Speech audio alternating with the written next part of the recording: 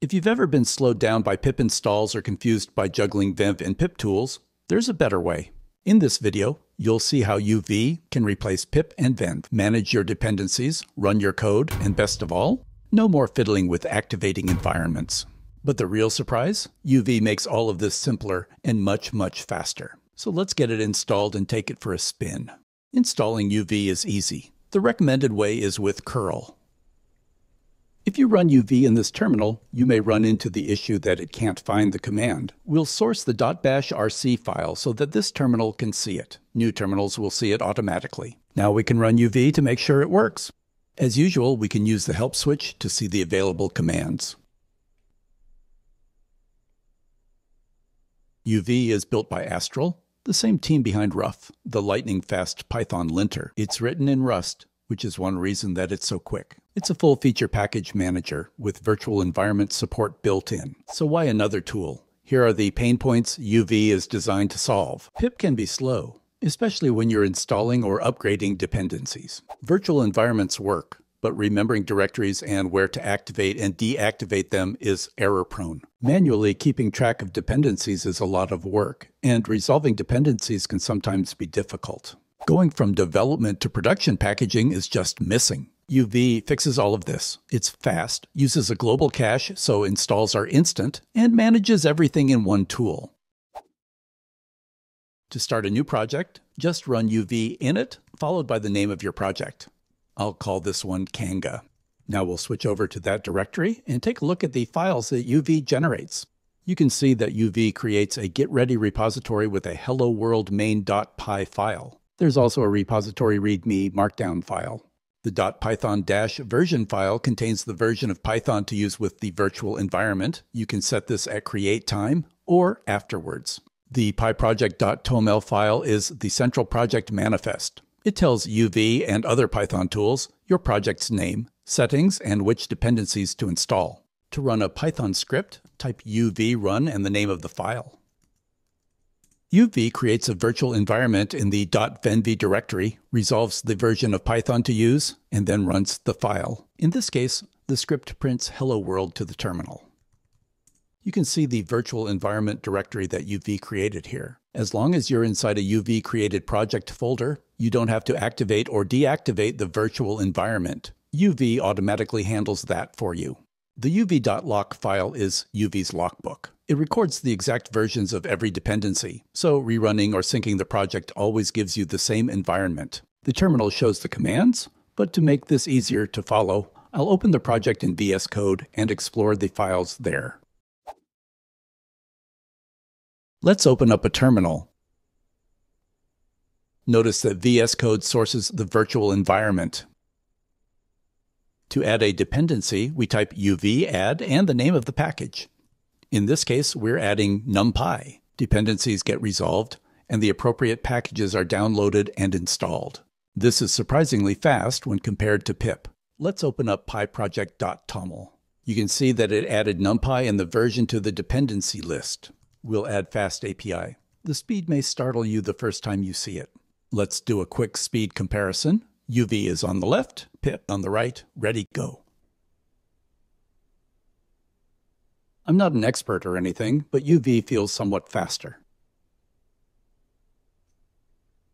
Removing a dependency is just as easy. Type UV remove and the name of the package.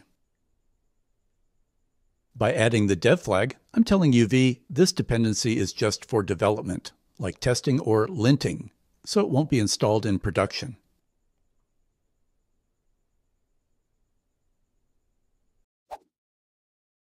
Let's write a simple application that reads a web page and shows the first 200 lines on the console. We use get from the request package to grab the web page and then print it out.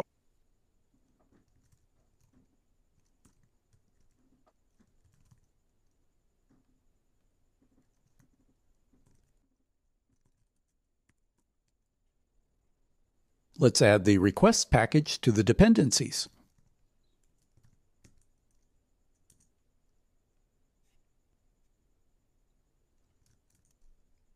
Now we run it. You would think a professional programmer with decades of experience would know to save their file after modification. You would be wrong. I'll save the script and run it again. The output is even less exciting than Hello World, but appears to work correctly. Like other Python virtual environments, you can choose different versions of Python based on your needs. Use UV Python list to show the available versions. Let's say we want to use version 3.12. First, we install the Python version, and then we pin it so that our project uses it. Now, when we look in Python dash version, we see the new Python version. The next time we run UV, it adjusts the virtual environment to reflect the change. UV-Tree will show you all of the installed dependencies.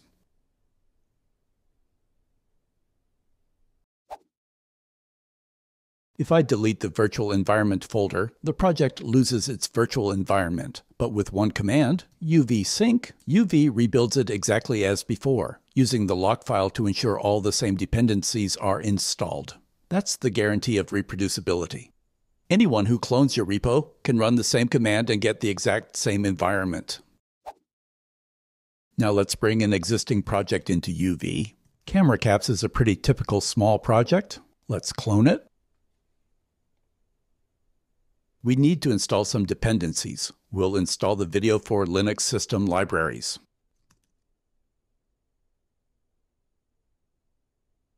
We'll open the project in VS Code. Since we're already inside an existing Python project, all we need to do is run uv init. That brings in UV's project scaffolding. This project has a requirements.txt file which makes it easy to add as a UV project dependency.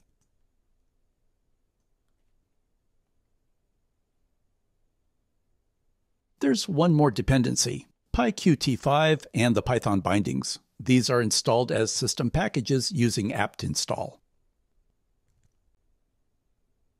With everything installed, let's run the application. And to no one's surprise, it no worky. The short answer is that GI is part of the PyQt package we install at a system level.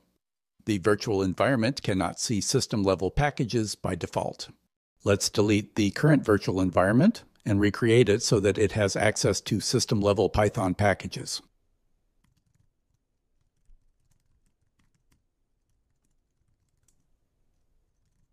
Let's run it again, this time for sure. And there's our app. All is good in the world.